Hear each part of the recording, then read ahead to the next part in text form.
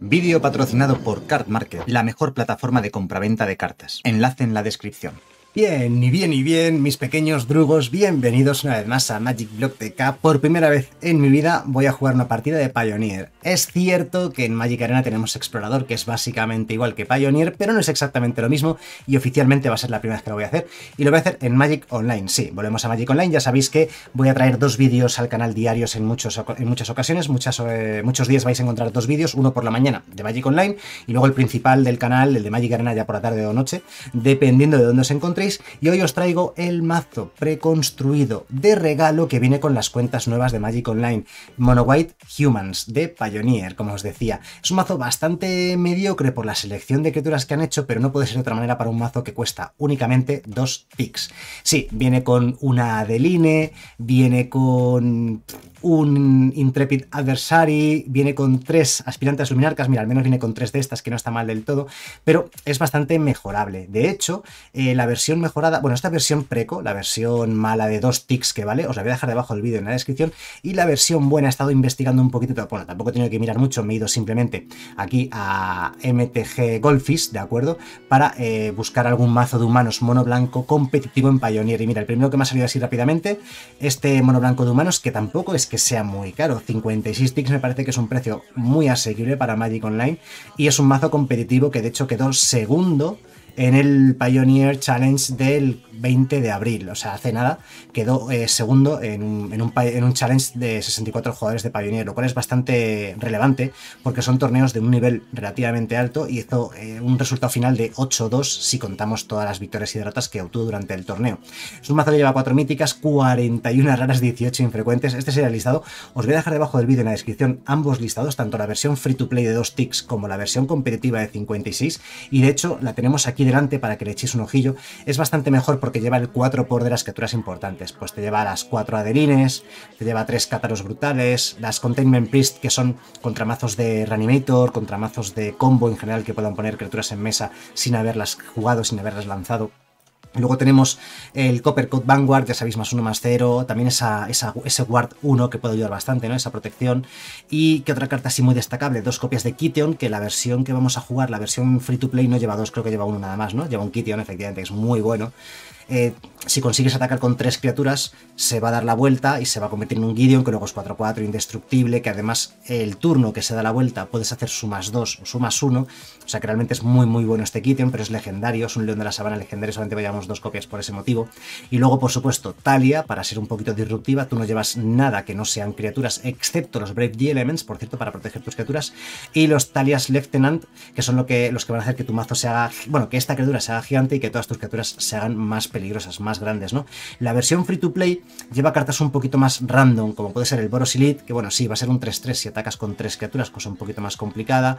Sí lleva el Downless Bodyguard, igual que la otra versión, para proteger alguna criatura importante, pero llevamos... Eh, Guardian of New Benalia, que puede ganar indestructible descartando una carta, se gira eh, cuando se enlista, enlist, ¿cómo era en español el list? Bueno, cuando hacen list haces adivinar dos, además una pequeña ventaja, como veis lleva cartas que la versión de pago de 56 ticks, tampoco es que sea muy cara, no lleva, ¿no? Intrepid Adversary son cartas que pueden ayudar igualmente, pero solamente un Kiteon, las tres aspirantes a luminarcas no las lleva la versión más competitiva como hemos visto antes, el Marduo Reaper para ganar unas pocas vidas, es un león de la sabana un poco de relleno en el mazo, eh, el Pressing Captain si consigue hacer daño te va a poner algún token de soldado adicional en mesa 1-1, esto para tener un poquito más de ventaja de cartas, es otro león de la sabana, un poquito de ventaja de cartas. Eh, Soldier of, eh, the Pantheon, of the Pantheon, perdón, eh, que para ganar alguna vida más también es un león de la sabana, o sea que en poca pega se le puede poner este tipo de criaturas. Y sí que llevas las cuatro talias Lieutenant y las cuatro talias Guardian of Thraven, o sea que sí que llevas dos de las criaturas principales del mazo. Se rellena aquí con un Spellbook Vendor. Estas son cartas que en Magic Online valen céntimos. O sea, realmente no son relevantes, no hacen que el mazo sea más caro, pero sí que pueden ayudar un poquito a cómo funciona. Y luego el Sangol Sentinel. Vale, de banquillo. El banquillo banquillo típico habitual de este tipo de mazos. ¿Qué llevamos? Pues nada, un removal barato contra criaturas pequeñas que puede llevar el oponente. Luego tenemos el Bounty Agent contra... Eh, Permanentes legendarios, en general, artefactos, criaturas o encantamientos. Supongo, es que no sé muy bien cómo está el formato de Pioneer, la verdad. Aquí, eh, a ver, aclaro, no tengo ni idea de Pioneer. He el vídeo diciendo que es mi primera partida de Pioneer en mi vida, ¿vale? O sea, no tengo ni idea, ¿vale? Pero entiendo que eh, el Portable Hold se juega porque hay mazos rápidos de criaturas pequeñas. Eh, supongo que no es especialmente bueno contra Boros Convoke, que sí que sé que se está jugando, pero sí es bueno contra, yo que sé, Eidor, Eidoron se estará jugando. ¿Este Eidolon es legal en Pioneer? Creo que sí, ¿no? Cartas de ese estilo. Cartas que sean más específicas de costes bajos. El Bounty Agent me da a entender que se están jugando legendarios caros, importantes, en forma de artefacto, criatura o encantamiento. Entiendo el Reanimator que debe de haber algo de Reanimator. Aunque ya digo que no lo sé con, con, con certeza. Fíjate, me ha saltado aquí el Faithful Absence, lo mismo, eh, para contra criaturas o contra Planeswalkers Rally de Ranks que eh, va a dar más uno más uno a todas estas criaturas. Esto es generalmente para Mirror Match o para otros mazos de criaturas similares para que las tuyas sean un poquito más grandes que las del rival. Luego tenemos Vanisher Priest, lo mismo contra, contra mazos de, criaturas. Eh, y luego la linterna que es contra cementerios. O sea, yo entiendo viendo este banquillo sin conocer Pioneer que hay algo de cementerios y algo de Reanimator. No estoy seguro, pero sería cuestión de mirarlo. Realmente podemos venir aquí a Golfis, eh, miro los decks que se están jugando en Pioneer actualmente y no, en Pioneer, no en Standard. Y nos podemos encontrar, pues, Iced Phoenix, Rakdos Vampire. Mira, contra Iced Phoenix, contra cementerios. Los Phoenix van al cementerio, los, los exilias, ¿no? Rakdos Vampires, criaturas pequeñas que puedas eh, eliminar, ¿no? Mono Black Discard. Eh, el combo de, de Amalia. Pues no hay, no hay Reanimator como yo me estaba pensando que sí que iba a haber, aunque no sé muy bien qué es esto de Nip to Light, no conozco este mazo. Georgian Leylight, no sé. Y el Quintorius combo, mazo de combo con Quintorius, tampoco lo conozco. O sea, como digo, si es que no tengo ni idea. Pues no, no hay Reanimator. Pero mira, sí que hay Rakdos Transmogrify, que pone una criatura gigante en mesa y eso te lo cargas con alguna de las criaturas que lleva, que lleva el mazo, como por ejemplo en la versión de pago, no en esta versión, con las tres Containment Priest, ¿vale? Porque la criatura eh, entra en juego pero no ha sido lanzada, ¿no? Entonces se exilia, por ejemplo, contra ese tipo de mazos. Bueno, da igual, no me enrollo más. Vamos a jugar una partidilla, vamos a jugarlo en Pioneer Open Play. Bueno, jugaría en Pioneer Open Play si hubiese gente jugando en Open Play. Ya os digo que siempre juguéis en Open Play. Voy a crear la partida un segundito mientras os hablo, que en general eh, creéis las partidas en Open Play porque es al mejor de una partida y los rivales van a jugar mazos más casuales, más sencillos, de, a los cuales nos podemos enfrentar más fácilmente. Pero al igual que nos pasó en Legacy el otro día, no hay ninguna partida en Open Play, lo cual me indica que no mucha gente juega Pioneer, al menos en Magic Online, porque en Modern sí que había gente jugando en, en Open Play.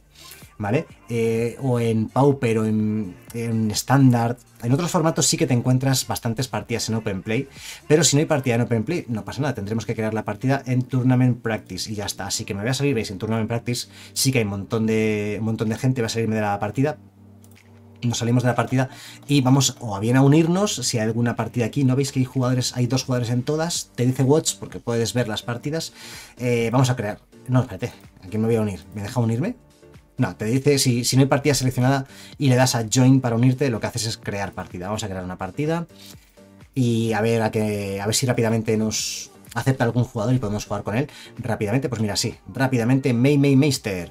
Espero que no nos pegue una paliza muy grande porque obviamente nosotros estamos jugando un mazo free to play de dos ticks eh, preconstruido que viene con la cuenta gratuita del Magic Online y él seguramente esté jugando un mazo de torneo, ¿no? por eso se llama Tournament Practice porque es un, eh, es una sala de práctica para jugar torneo, para jugar un poquito más en serio. Hemos perdido la tirada de dado, como podéis ver aquí, así que sale el rival que eh, creo que no ha hecho mulligan. De momento tiene 7 cartas en mano, ha elegido salir, a jugar primero. Y nosotros que tenemos? Tenemos, pues bueno, lo que os decía, León de la Sabana más Talia, pues un comienzo decente. Eh, por cierto, debajo del vídeo en la descripción os dejo los listados tanto del mazo free to play como del mazo mejorado, la versión mejorada de 56 ticks. Aunque ya os digo, yo en este canal eh, voy a utilizar siempre MTG Golfis como referencia porque es la más completa. La verdad es que te vienen todos los mazos, te vienen los precios, te vienen los precios de Magic Online, todo, te ayuda un montón, ¿vale? Entonces, entonces por eso voy a utilizar siempre Magic Online. No se ha hablado de las tierras, tampoco tienen mucho misterio las tierras que lleva este mazo y el rival sale con un pantano. Podríamos empezar con el Boros Elite, pero mira, prefiero pegar de dos que pegar de uno, ¿no? Con el Recruitment Officer. Vale, vamos a ver que está jugando muy lento el rival, está como medio AFK, como pensando en cada jugada, bueno, que, estará pensando a lo mejor. va a hacer un Zotsis en su segunda fase principal, ¿no? Es un jugador que deja pasar el turno hasta la segunda fase principal y ahí empieza a jugar cosas. No creo, no tendría mucho sentido hacerlo porque yo todavía no he empezado a jugar. ¿Qué pasa si clico aquí? Vale, nos toca. Hemos robado otra tierra, ya son más tierras de las que necesitamos en este mazo, pero bueno, ¿qué vamos a hacer?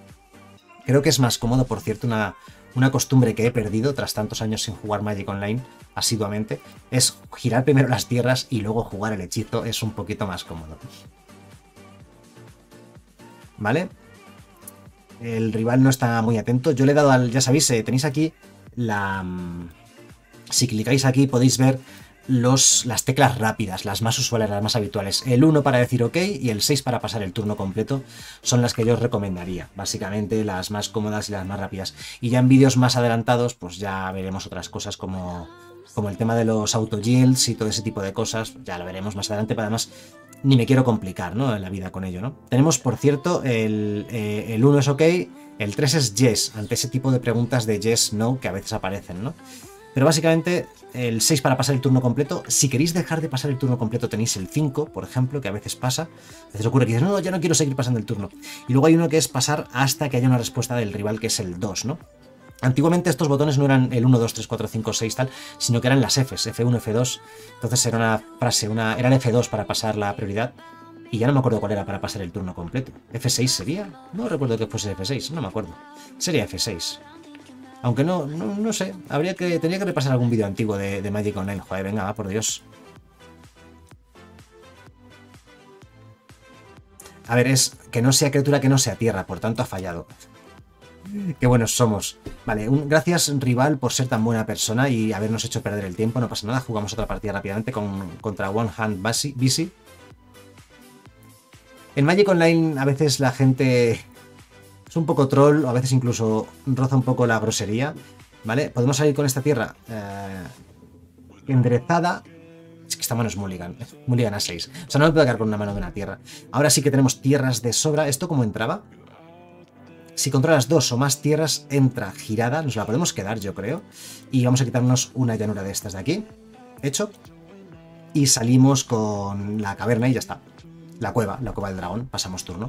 Y de segundo turno, pues, o el Talia's Lieutenant o Talia a secas. Yo creo que es mejor Talia o incluso el Present Captain, que si conseguimos que haga daño empieza a poner tokens, el rival sale con tierra verde azul. Como os digo, no tengo ni idea del metajuego, no sé qué estará jugando. Talia seguramente sea muy buena, pero también va a ser muy bueno si empezamos metiendo presión desde el principio. Por cierto, eh, ya es mala suerte con la cantidad de criaturas de coste 1 que lleva este mazo, que no nos haya salido ninguna criatura de coste 1 en el primer turno, ni en el segundo. Si robamos criatura de coste 1 en el tercer turno va a ser una gozada. Pantano. Fatal Push. ¿Vale?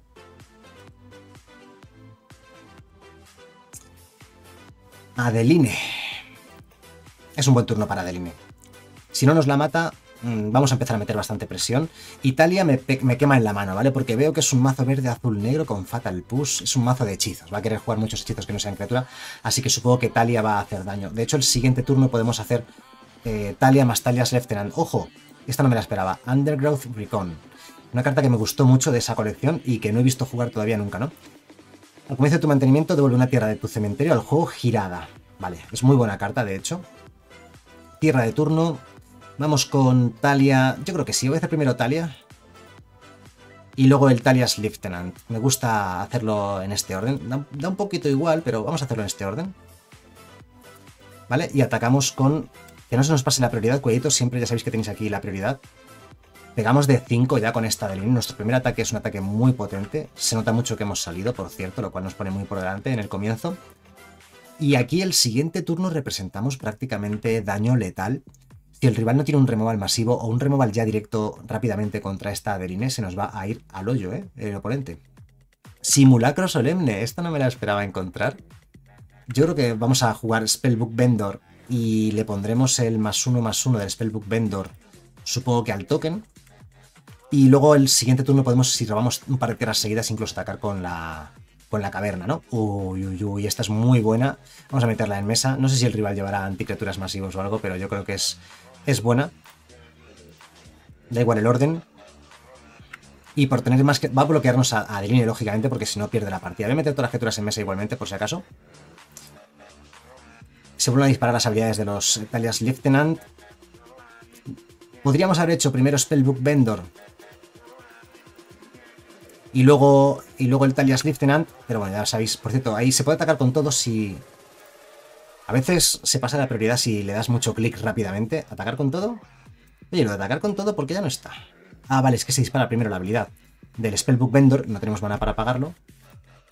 Pero Magic Arena, o sea, Magic Online te pregunta por todo. Attack with all creatures, ¿vale? Y eh, a ver, a qué bloquea con el simulacro solemne. Yo entiendo que bloqueará de Aline porque le quedan 12 de vida y se, nos muere, ¿no? 6 y 2, 8 y 4. Ah, sí, es letal. Bueno, pues hemos ganado la primera partida de Pioneer que hemos jugado en nuestra vida contra un rival también que, no ha hecho nada, ¿no? Venga, vamos a. Vamos a. Por cierto, podéis. Creo que el rival se ha retirado. Ah, no, no, vale. ¿Qué juega nuestro oponente? No tengo ni idea. No sé a qué nos enfrentamos realmente. Ninguna de las cartas de nuestro banquillo me convence en absoluto contra nuestro oponente. Ninguna. Vale, por cierto, clic derecho en Magic Online te da muchas opciones, ¿vale? Como podéis ver, simplemente cuando haces clic derecho te salen opciones variadas, ¿no? Yo creo que ninguna de estas cartas la vamos a utilizar contra él. Realmente, para nada, ¿eh? No veo clara ninguna de ellas. O sea, no sé si es de cementerio. Bueno, a ver, de cementerio es obviamente su mazo, por lo que ha jugado, pero tampoco sabemos exactamente de qué va el mazo. Entonces, ¿qué me quitaría para meter la, linterna, ¿no? Para exiliar una tierra. No, esto es para exiliar más bien una carta concreta. Vamos a jugar tal cual, no banquillo nada. Y vamos a jugar una segunda partida. Ya sabéis que en Open Play es el mejor de una partida, pero en turno en Practice es al mejor de tres. Así que la primera partida la hemos ganado. Vamos a ver si podemos repetir con la segunda partida y nos iríamos con un 2-0 fresquísimo. ¿Vale? No pierde las dos vidas iniciales, nosotros pasamos el turno. Por cierto, se ilumina eh, tu mesa cuando es tu turno. No sé si es muy relevante decirlo. ¡Ay! He hecho, me he equivocado de tierra. No quería jugar esta tierra. Obviamente. Quería jugar la llanura. Para meter el, el recluta. Bien jugado. Qué desastre. ¡Qué desastre!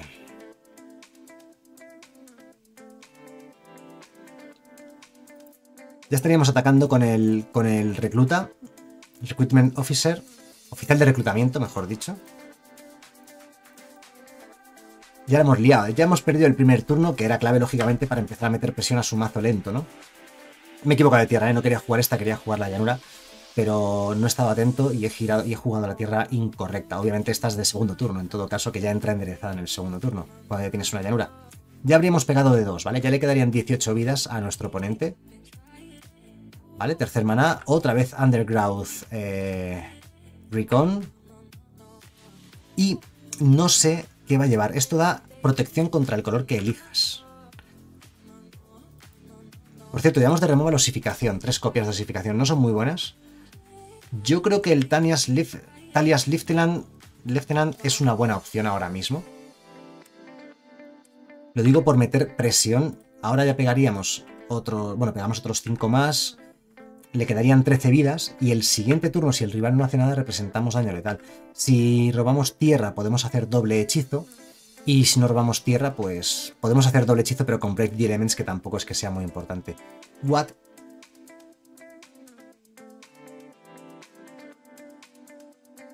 ¿vale? Una carta súper interesante realmente. Busca en su mazo hasta 5 tierras con diferentes nombres y las exilia. Evidentemente es un mazo de tierras, muy lento. Yo creo que para Pioneer es una idea que puede ser buena, pero es muy lenta. Y luego al comienzo de su mantenimiento, ah no, al final del turno mejor dicho, elige una carta exiliada y la pone directamente en juego girada. Vale, un mazo de tierras súper chulo realmente, pero como os digo, hemos robado tierra, por cierto, ¿cuánto pegamos? Pegamos bastante. Vamos a... Voy a girarme todo, ¿eh? O sea, no, no tengo miedo. Voy a girar con todo y que sea lo que Dios quiera. Si tiene algún tipo de removal masivo, pues así sea. Esto se puede triggerear el Yes, ¿verdad? Para siempre, que se triggeree automáticamente. ¿Vale? O sea, si, si le das a Yield, o sea, que se triggere. Vale, no exiliado nada de su cementerio, pero bueno, da igual. Porque he pasado la prioridad. Vale, esto sí que hay que elegirlo. El contador más uno más uno sobre, por ejemplo, este. que es la, la criatura de las que tenemos en mesa, y atacamos con todo. Casi paso la prioridad sin querer. Entonces aquí nos quedamos a, a poquita vida. Bueno, que gana más 2 más 2. No me digas que justo se va a quedar a 2. 5 y 3, 8 y 3, 11. No, se queda a 4, ¿vale? Aunque no hicimos el primer ataque al principio de la partida, eh, no habríamos ganado. Y aquí lo único podemos dar indestructible a esto. Y bueno, pues ganamos la partida. Pues vale, o sea, Incluso en Tournament Practice te encuentras muchos mazos que no valen para nada, como el que acabamos de ver ahora mismo del rival, que es que sencillamente pues no hacía nada. El mazo es bueno, el que te viene gratuito de dos ticks con la cuenta cuando la creas nueva desde cero, pues no es muy bueno. En Pioneer puedes ganar partidas en Open Play, incluso en Tournament Practice, como acabamos de ver, pero te metes en una partida de verdad, te metes en el uno contra uno, el two player queue, y te van a dar pal pelo. Porque aquí además la gente se está jugando o dos ticks o 20 play points. Los play points son la moneda digamos, gratuita del juego que no se puede intercambiar. Y los ticks es la moneda de pago del juego que sí se puede intercambiar con otros jugadores. Esta es la, gran diferencia entre el Magic Online y cualquier otro juego actual online. Todos los juegos actuales online no te permiten intercambiar la moneda del juego con otros jugadores, prácticamente ninguno. Pero como Magic Online nació hace más de 20 años antes de la era moderna de los juegos online, permitió el comercio y esto nos permite intercambiar los ticks. Pero el Playpoint es un invento reciente, no sé de qué año es, pero no tiene más de 5 o 6 años en Magic Online, o sea, es decir, los primeros 15 años de Magic Online no existían los Playpoints, eh, solamente se podía jugar con, con tickets, y solamente se ganaban tickets en los premios. Bueno, tickets no, se ganaban sobres y tenías que ir a vender el sobre al mercado, a la pestaña de trade, para conseguir los ticks, ¿no? Ahora te dan play points por los torneos y te clasificas, o mejor dicho, juegas los torneos con play points o con tickets, si se te acaban los play points. Claro, en mi colección actualmente, como esta cuenta es nueva, creada desde cero solamente para mostraros este tipo de mazos, no tengo play points ni tengo tickets porque no he metido dinero. Tengo new player points, que sirven únicamente para inscribirse a los eventos estos eh, especiales para, para jugadores novatos. Los del Gauntlet eh, la liga de, Commander, que vale 6, New Player Points, o la liga del Magic Online, que vale 2 New Player Points, que no quiero gastarme actualmente. Y luego además, por cierto, en limitado, que se me ha olvidado comentaros esto y tengo que traer un vídeo sobre esto, tenemos los Super Jump, que valen 10 New Player Points, dos sobres de Jump Start o Salta de Acción, que se llama en español, y los juntas, dos sobres de 20 cartas, los juntas y a jugar con lo que te haya salido, ¿no? Son aleatorios. Esto tengo que probarlo porque aún no os lo he traído y ya os he traído mazo, digamos, ya os he traído vídeo de los principales formatos. Os he traído Pioneer, os he traído Modern, Legacy, Commander, me faltaría Pauper. Entonces yo creo que os traeré Pauper os traeré una versión de Pauper, la que viene gratuita con el juego, que sería esta de aquí, una versión mejorada de Pauper, porque aunque sea Pauper y sean solo comunes, no significa que sean baratos. Seguramente la versión Pro o versión competitiva de Delver, esta vale 2 ticks más o menos. Creo que vale 2,6 o 3, o 3 ticks incluso puede valer. Pero la versión competitiva a lo mejor vale 30 ticks, ¿de acuerdo? Que sean comunes todas no significa que sean baratas. Ya os traeré un vídeo con este mazo de Pauper y cuando haya traído el mazo de Pauper ya traeré eh, Super Jump para que veamos un poquito esto y si acaso a lo mejor hasta nos jugamos un Gauntlet de estos, una liga de estas con los play points que nos dan gratis. Pero que sepáis que a partir del 1 de mayo ya por fin me van a dar... Em, me van a dar esa, esa cuenta con todas las cartas del Magic Online, con 4 por de todas las cartas del Magic Online. Así que poder traeros vídeos con cualquier mazo de cualquier formato. Cualquier mazo de Modern, de Legacy, de Vintage, de Commander. Y bueno, a partir de ahí, todos los días voy a estar disfrutando de esta tremenda plataforma que es Magic Online.